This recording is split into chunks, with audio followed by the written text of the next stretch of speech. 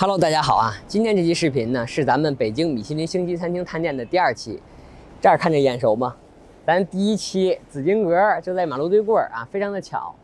然后呢，今天这家餐厅叫纸观小馆，但是它这儿写了一个纸观美术馆。这个纸观美术馆旁边呢才是纸观小馆。你给大家照一下，哎，这叫纸观小馆。这个餐厅的这个门脸啊，我跟你说实话，要不是提前做好功课或者提前知道的话，很难路过的时候发现这是一家餐厅。咱们话不多说啊，直接进去看看这里边环境怎么样。哎呦我操！现在已经进到这个直观小馆里边了。看上期视频大家的评论跟弹幕，就是想让我别太正经。那今天咱们就放开了。首先呢，这个就是北京的四合院。这个算是比较大的那种，比较高级的四合院啊。然后呢，这个贤良堂，这个现在呢没对外开放，里边供着佛像。然后两边这个叫做万木草堂，是包间儿。紧接着呢是散台，然后这边呢叫云朵山房啊，也是包间儿。也就是说两边包间儿，这边供着佛像不对外开放。这边是散台，介绍的差不多了，咱们直接回去点菜，看看这儿的菜怎么样。走，好啊，现在已经落座在这个包间里了。环境的话呢，米其林评定是三个黑刀叉。说到这儿，我有点不服，就这种古香古色的环境，我觉得起码得有四个刀叉。点菜的话呢，它这个因为是有套餐的这种菜单的，不过呢都是四人以上的，我这一个人吃肯定吃不了，所以我准备就单点了。然后东北菜给我的感觉呢，就是特别下饭，所以今天我准备就三菜一汤，一碗大米饭。首先让我特别感兴趣的一个这个薄荷黄蚬肉，也是米其林推荐的。然后就是杨杜菌老鸽汤，这个汤呢得提前预定，因为他说做这个汤最少要准备六个小时以上，所以这个要想喝的话，记得得提前预定啊。接下来是这个葱烧渤海湾螺片儿，也是米其林推荐的。再来一个肉，这个画的这个是辽河口恋香牛肉。说到辽河口，再补充一点，辽河是啥呀？辽河就是一条河的名儿。这家餐厅呢，其实打的就是辽河口的这个渔家菜，比较有当地特色的这么一个菜系。因为东三省很大嘛。它虽然都是东北菜，但其实差异也是有的。最后就是它这个主食类，我看它有一个叫道家思想的，就没吃过，具体不知道，咱点上来再说。好家伙，刚才点完菜，机器还没架明白呢，你直接就上齐了，非常的快啊。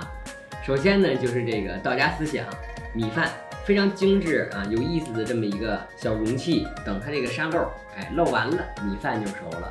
在等这米饭的过程中呢，其他菜都齐了，咱们先。尝一尝，首先是这个黄蚬肉。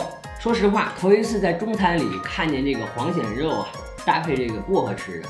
先来一筷子，非常期待的这个凉菜黄蚬肉。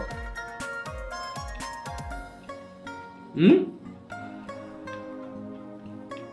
里边还有芥末，但是我吃的第一口，这个黄蚬肉就让我吃出沙子来了，有点失望。但是味道没问题，清新爽口。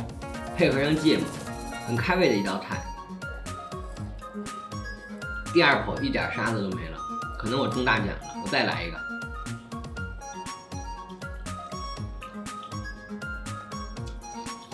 嗯哇，非常的干净啊！第一个中奖了，芥末配这薄荷，这个创新的调味儿，哇，吃真的特别的爽口，一下就把这味蕾打开了。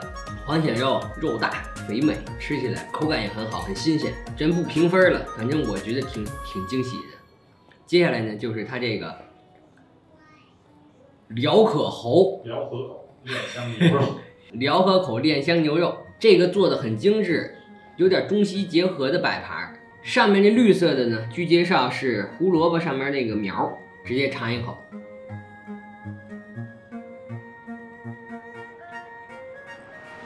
口感呢，有点类似于牛肉干儿，但是比牛肉干儿要好嚼很多，要嫩很多，一丝一丝的这个纹理，嚼起来又不会很费劲。外边这个肉呢，应该是简单的炸过，有一层脆壳，酱汁儿是酸甜口的，有一点麻麻的感觉，应该是搁麻椒了。再来一口，这个一会儿就米饭吃肯定特别的带劲。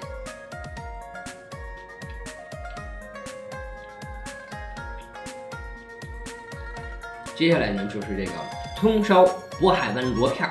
这个螺片儿呢，切的非常的均匀，薄厚都差不多，搭配上边的葱白跟下边的葱绿，这个葱一碰已经酥脆了，感觉有点像我之前燕锦堂那期吃的葱烧鲍鱼，加一片螺片儿，尝尝。没有想象中的惊艳，像螺，我自己平常爱吃海鲜，做不好你嚼不动，做不熟呢，你口感也不好。这个口感是恰到好处，烹饪的火候把握的非常好，有嚼劲的同时呢，又很弹牙。但是味道的话，因为每个人这口味都不一样嘛，我觉得就那么回事儿。尝一口它这个脆葱，哇，我感觉葱比这个螺片好吃。再尝一口它这个汤。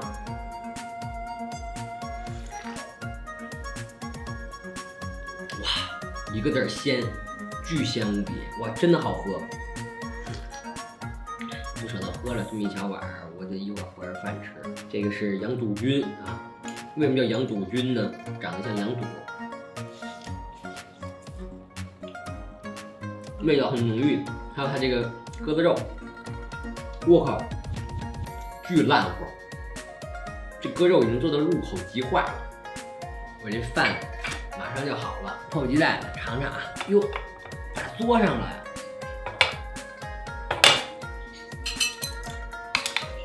我去！我一开始真的是想吐槽来着，这米饭换了一种方式，它能有什么区别呀？可能是因为人家米好，米香味特别浓，跟平常吃那大米饭真的不一样。先尝尝这个饭吧，这个饭真的闻起来巨香。吃饭呀，喜欢吃更软一点的。这个做出来呢，比我平时吃的米饭要硬一点点。因为米饭这东西软硬程度啊，每个人的喜好都不一样。这个我倒是能接受，但是再软一点更完美了。就是这个牛肉，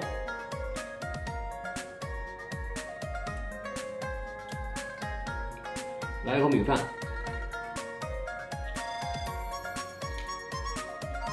哎呀，真香！这米饭比平时咱们吃那米饭啊更黏。对了，它这个米饭呀，还给了三种小菜儿：华子馍、小鱼干儿，还有虾酱。它这玩意儿配米饭吃，我不知道什么感觉。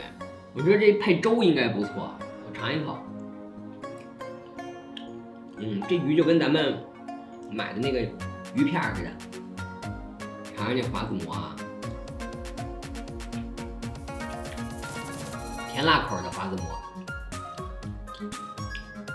虾酱就是虾酱，我还是就菜吃吧。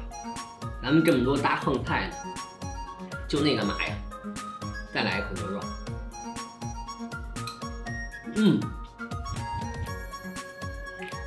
螺片直接和米饭吃，不用勺了。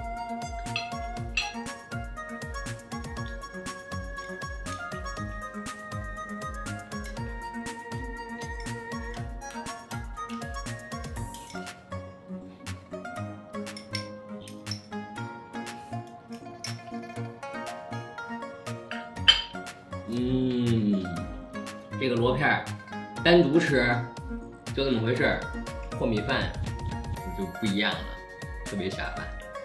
一碗吃完了，再来一碗。它这看着一小锅，实际上挺深的。米饭跟这个菜吃的有点腻了，来一口这个黄显肉解解腻啊。嗯。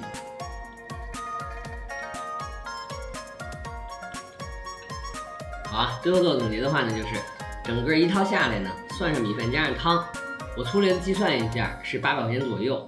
除了这个螺片没给我惊喜以外呢，这些菜都不错，尤其是和大米饭再喝上汤，吃着又香又舒服。但是如果你要是奔着吃传统东北菜而来呢，我觉得大可不必，因为外边很多东北菜的馆子呢。